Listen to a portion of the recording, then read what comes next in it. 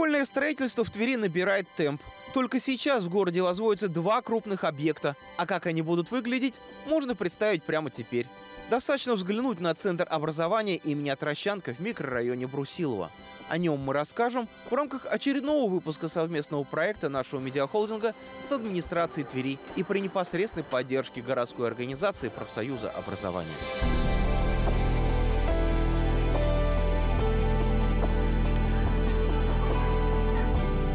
Конечно же, первое, что бросается здесь в глаза – оборудование.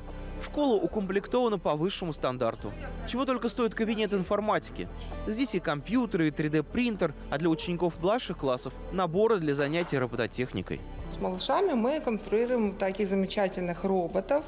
Они имеют датчики у нас, реагируют на препятствия.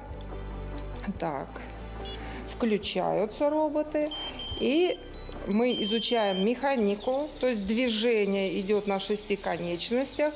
Дальше, если вот покажу вам, видим препятствие, робот пятится назад, жалит своим хвостом.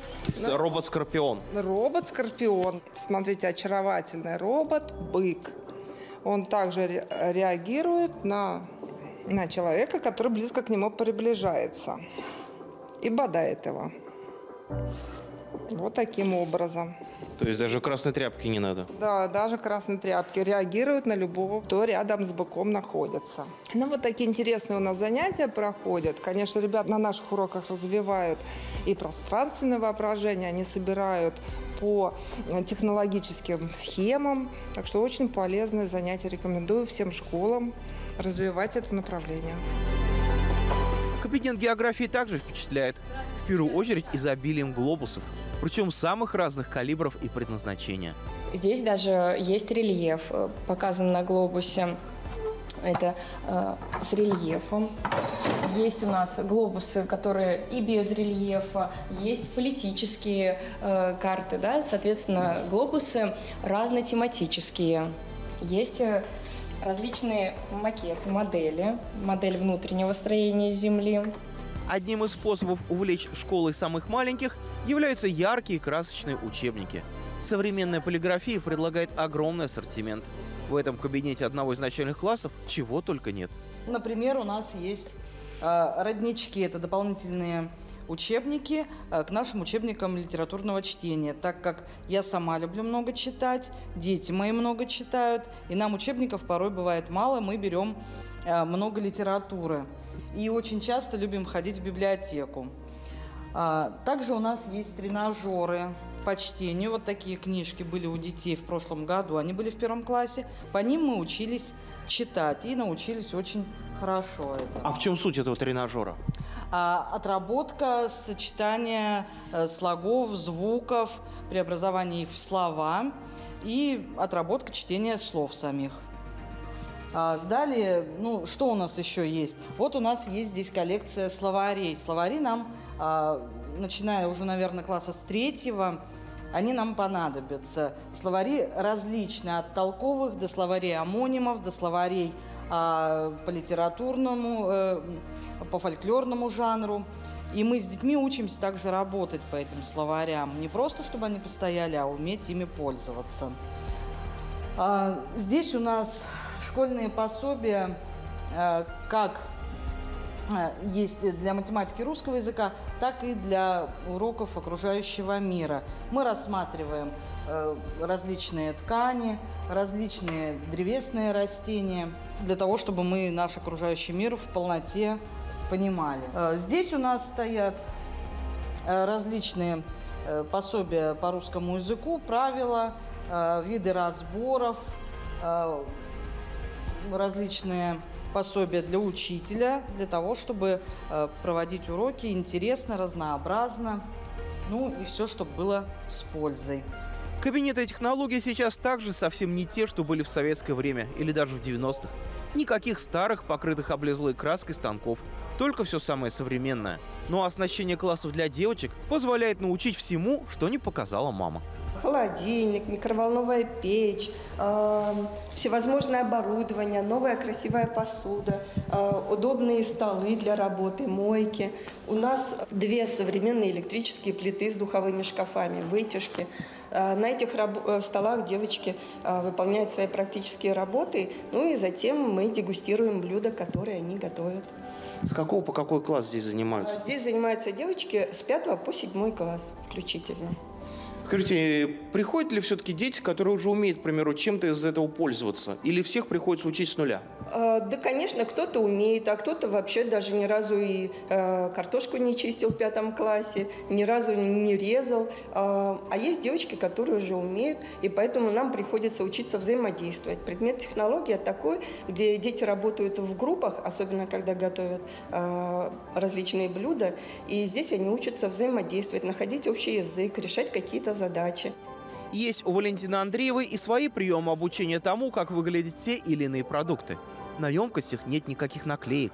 Здесь не подписано, что это за крупа, потому что э, во время урока провожу с девочками ну, такую загадку. Они должны мне отгадать, что за крупа, э, из какого зерна получают ту или иную крупу. Также делю их на группы, раздаю им эти крупы, и они отгадывают. Ну, нам по секрету расскажите, какие здесь крупы. Э, Ну, здесь много. И манная крупа, булгур, овсяная, пшеничная, гречневая, пшенная, геркулес, кукурузная. Ну и пока еще собираю эту коллекцию, это виды бобовых. Здесь у меня горох, фасоль красная, нут. Ну, что-то еще впереди будет, еще появится здесь. Конечно же, в кабинете технологий для девочек не обойтись и без швейных машинок. Да, на дворе общество потребления. И все чаще можно услышать разговоры, что сейчас сам ничего никто и не шьет. И все намного проще купить в магазине. Однако хоть минимальное понятие о соответствующей технике надо иметь, убеждены педагоги. Учатся с ними работать, учатся правилам безопасного труда, учатся бережно относиться к оборудованию. Шьем мы э, фартук, э, юбку и плечевое изделие. Э, С 5 по 7 класс они занимаются вот швейным делом.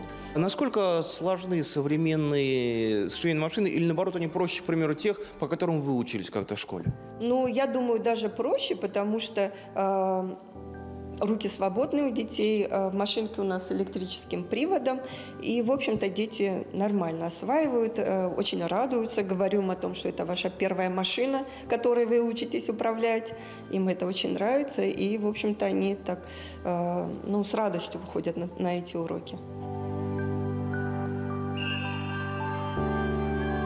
Отдельная гордость – спортзалы.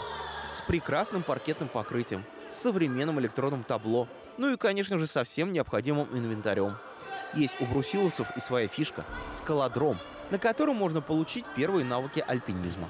Если, допустим, они с родителями поехали куда-то отдыхать, в горы, и у ребенка вот как раз э, при помощи этих упражнений развивается сила, ловкость. Э, вот. А ребенок учится одевать снаряжение, пользоваться э, карабинами, жумар такой есть. Э, Также, когда выполняют они упражнения, у нас есть страховка здесь. И тренер, который проводит занятия, сначала дети выполняют упражнения с подстраховкой.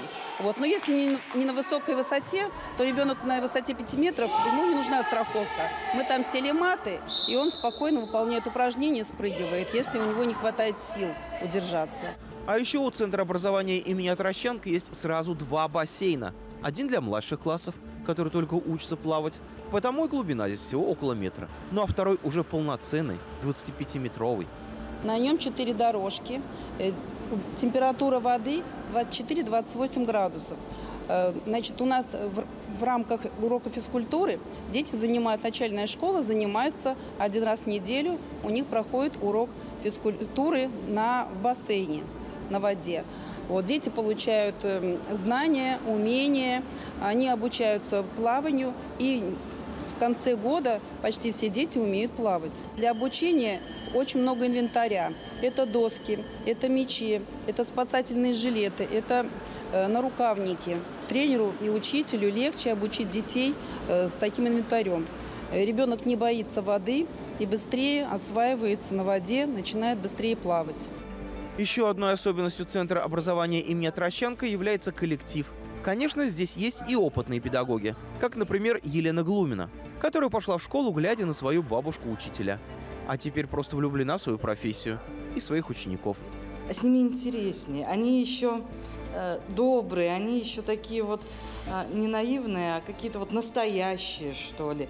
И если они обиделись, то они обиделись по-настоящему. Если они тебя любят, они прибегают и каждую перемену просто висят на шее, ну потому что они действительно любят. Ну и я, соответственно, в ответ всегда с добрым словом, всегда их тоже обнимаю и всегда очень скучаю, особенно на каникулах. Уже успели выпустить здесь своих первых нач... учеников начальных классов? Да, в этой школе я с открытия работаю. А, в первый год мы набрали вторые классы. И год назад я выпустила свой первый выпуск. А, тоже скучаю по ребятам. Сейчас они в шестом классе. А новые детки у меня сейчас во втором классе. Старшие детки приходят, как я их называю. Мои взрослые дети приходят, частенько общаемся, что-то обсуждаем, а, делимся какими-то моментами. И когда мне нужна их помощь, они приходят, помогают, где-то посмотрят за ребятами, где-то пообщаются с ними, посидят. Это здорово на самом деле. Становишься многодетной матерью.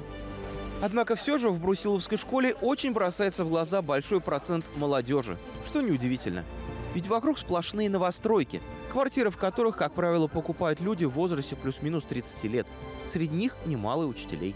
Педагогический состав – это люди, которые приехали из других городов.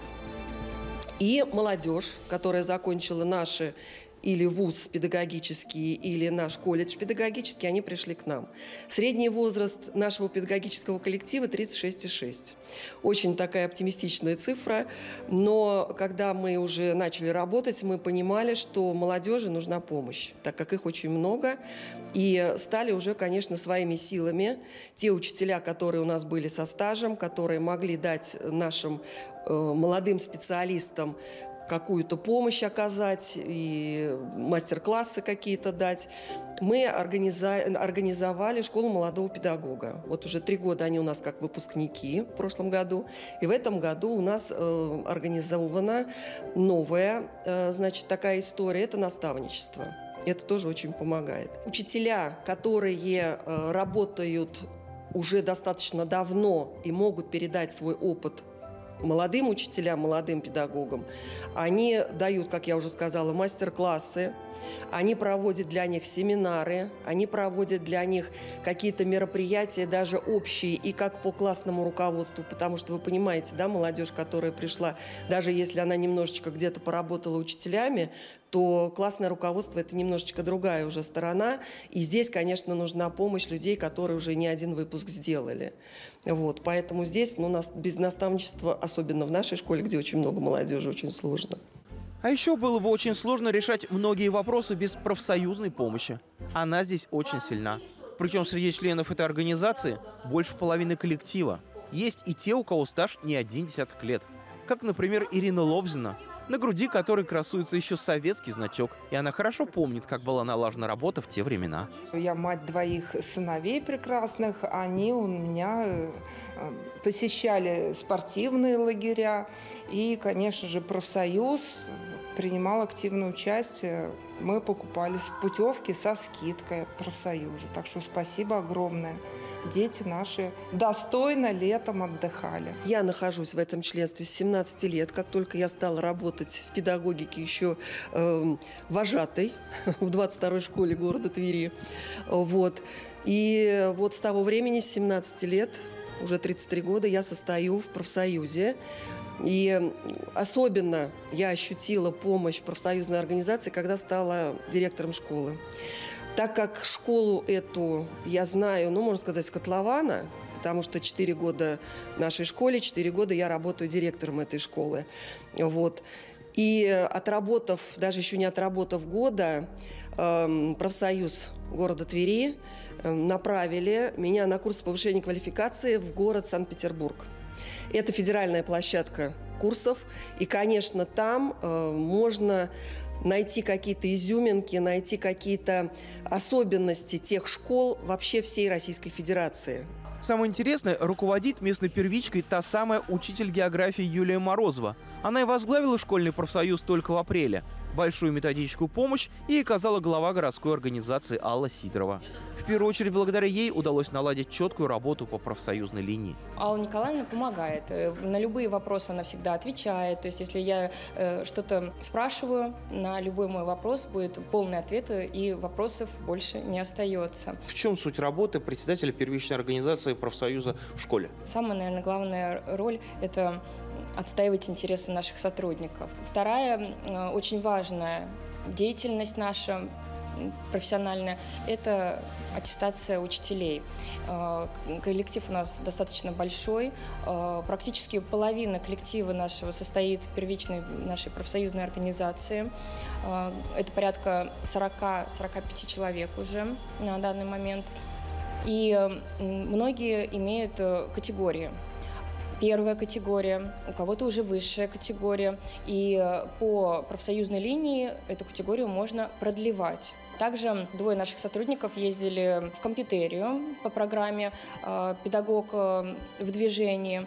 И эта программа была полностью за счет профсоюзной городской организации. В этом году я получила путевку на санаторно-курортное лечение, и мне наша профсоюзная организация выплатила некоторую компенсацию, что было для меня приятным бонусом. Однако не только ультрасовременное оборудование и молодой коллектив являются приметой Брусиловской школы. Есть еще одна. Центр образования носит имя спецназовца ФСБ Александра Отрощанко. В 2008 году он пал смертью храбрых в бою с боевиками на Северном Кавказе. Носить его имя – большая честь для школы. Поэтому патриотическое воспитание тут такой же приоритет, как и образовательная деятельность. Мы разыскали родителей. Родители проживают в Твери. Ребята стали ходить, узнавать больше и больше информацию какую-то находить об Александре. Связались с его сослуживцами, э, связались с нашим Тверским управлением ФСБ, то есть они нам тоже очень много помогали. В прошлом году э, Совет старшеклассников, они разработали проект это вот экспозицию, которую мы с вами видим, э, посвященную Александру Трощенко в нашем музее. В 2021 году э, мы набрали первый кадетский класс. У нас сейчас три кадетских класса под патронажем Федеральной службы безопасности Тверской области.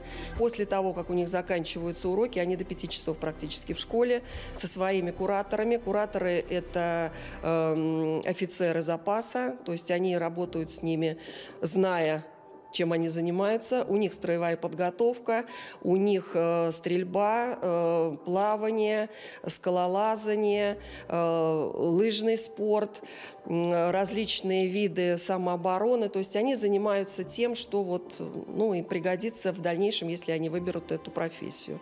Более того, кто-то уже выбрал профессию военного, правда и не связанную напрямую с ФСБ в этом году, летом, принимали участие вместе со своими родителями, две девчонки, были в Белгородской области, э, как волонтеры, помогали в госпитале нашим ребятам, которые со своего туда на лечение поступали.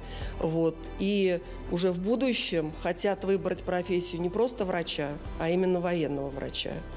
Вот это вот у нас сейчас десятиклассница в десятом классе. То есть про таких девочек, да и, несомненно, про всех остальных учеников Центра образования имени Отрощанка смело можно сказать словами Высоцкого. Значит, нужные книги ты в детстве читал. Нужные книги, рассказ о которых постоянно звучит на уроках в родной школе.